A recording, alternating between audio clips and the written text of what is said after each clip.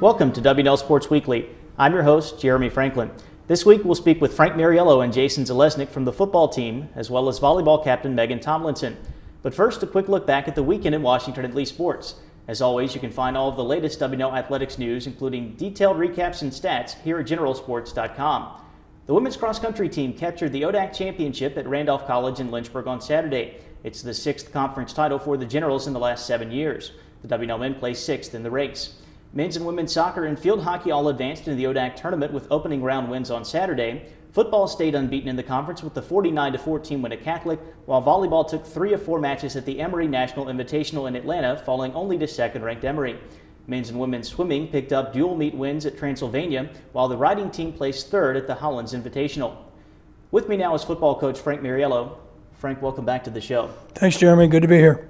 The Generals' offensive numbers in 2010 are astounding 45 points and about 450 rushing yards in the five ODAC wins so far. What has happened for Washington and Lee to make that kind of breakthrough on that side of the ball? Well, it all starts up front with Coach Colleton and his offensive line. They've really come along quite well and uh, playing great football right now and, and doing a great job uh, protecting Charlie and open up those gaping holes for our running back. So it starts with the offensive line, and then we have three outstanding running backs that are just producing numbers that are unheard of at W&L, and and we're very pleased, obviously, about that. And uh, also, our receiving core is uh, we don't throw the ball a whole lot, but they're doing a great job blocking on the perimeter. And we had a couple big catches last year. Tate Davis last week. Tate Davis had a great catch in that game. So.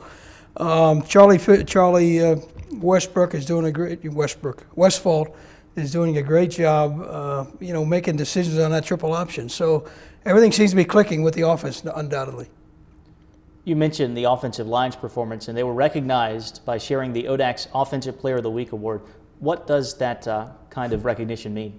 Well, I, have never heard of that ever in all my years of football, and, and we're so excited for Coach Colleton and, and, the, and the guys up front. Uh, they're most deserving of that of that honor, and uh, I would imagine that just motivate, motivates them to play a little better this week. I hope. How much has your defense improved over the course of the season? They've come a long way. Uh, it was a main concern going into the season. Uh, we had some youth out there, some inexperience out there. Uh, they progressed quite well. Our pass defense is getting a lot better each and every week. Uh, I think we're ranked in the conference now in number one or number two, I think. So the, the secondary was a, uh, was an issue, and, and they're, they're doing a wonderful job. Our defensive line continues to be uh, undersized week in and week out, but they somehow seem to get some plays done when they have to. And the linebacker core has, has come, come along quite well. So it seems like we're bending and bending, but when a play has to be made on defense, some, somehow we're coming up with a play. What will W&L need to do to win the ODAC title against Hampden-Sydney on Saturday? Well, we got to play our best game of the year, no doubt. our, our, coverage has to be solid underneath and over the top. Uh, whether or not we can get some pressure on the quarterback, I don't know. Again, our defensive line is, is just, we don't have that Brian Folk, uh, Matt Castley kind of guy in there right now. But uh, we're going to play solid uh, coverage underneath and over the top, and hopefully we'll get a couple interceptions and maybe a turnover in the run game. And, and we need to get a couple, three, maybe four turnovers if we can. And our offense has been pretty good with the turnover situation. So we're plus nine in the conference right now. We need to, we need to stay there.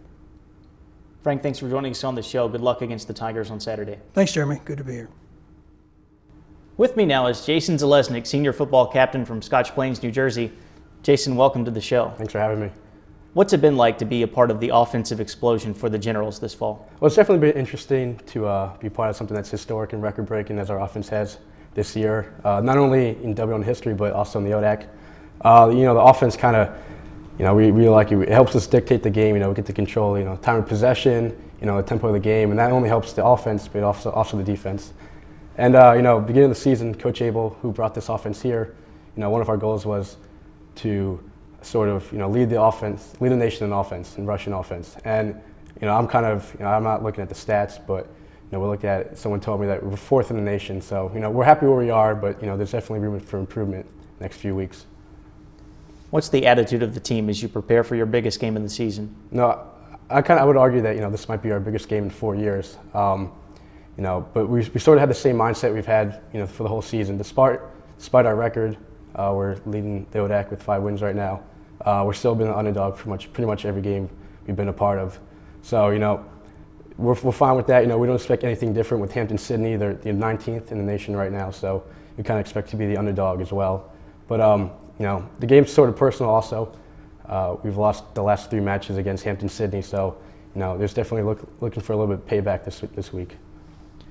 How do you balance the emotion, the excitement of playing for the ODAC championship on Parents Weekend with the focus that you'll need to beat the Tigers? Well, you know, first, you know, we got to love the situation we're in. You know, it's two undefeated teams in the ODAC. You know, Parents Weekend, we're going to have a great crowd. We think that, you know, the crowd and the atmosphere is going to be a really crucial part of the game this week. Um, but, you know, to balance that, you know, we understand who we're up against and, what's needed to succeed. They're, you know, they haven't lost an ODAC game since 2008, and they're, they're 18 and 1 in the last two years. So, um, you know, we understand that, you know, in order to, to be successful this weekend, we need to have a great week of practice, which you've had I would argue it's the best week of practice you've had this whole year. And uh, in order to execute well, you know, we need to have you know an explosion and, and, and, great practice throughout. When you get to Saturday's game on the field, what are the keys to a W&L win? You know, well, speaking for the offense, you know, we got to continue to trust the system. that's worked all, all year. Um, we need to play physical and we need to execute. You know, we don't run too many different types of plays, so Hampden-Sydney kind of expects, you know, knows what's coming. So you know, if we if we execute well and, and be physical, you know, I think we're going to dominate on offense. And on defense, um, you know, continue to get turnovers and, and sort of control their, their passing offense. Um, the last three matches we've had the last three years have been, you know, high scoring games. So, you know, with our offense, hopefully that's to our advantage this year. Jason, thanks for joining us on the show. Good luck against Hampden-Sydney. Appreciate you having me here. I'm joined now by Megan Tomlinson, junior volleyball captain from Petersburg, Pennsylvania.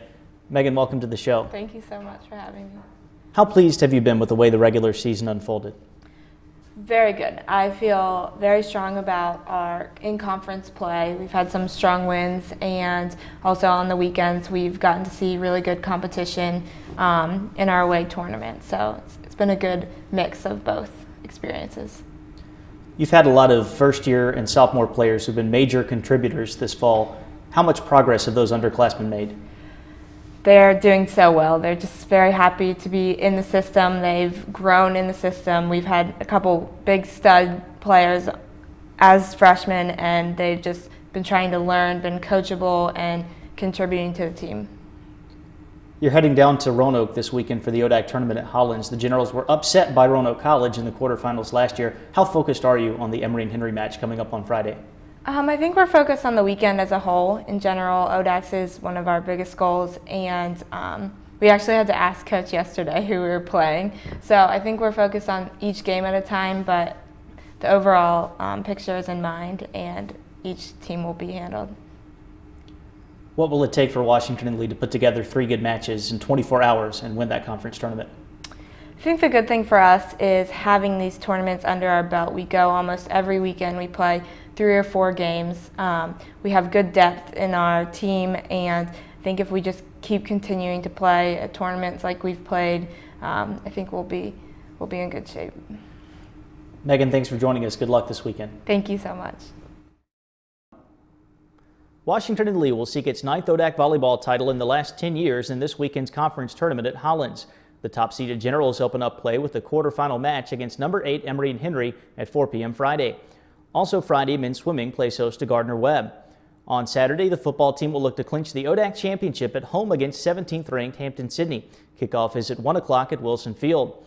Also at 1, women's swimming takes on conference rival Randolph-Macon at Cy Twombly Pool. Several conference titles will be up for grabs on Saturday. The ODAC volleyball semifinals will take place that morning in Roanoke, with the championship to follow at 3.30.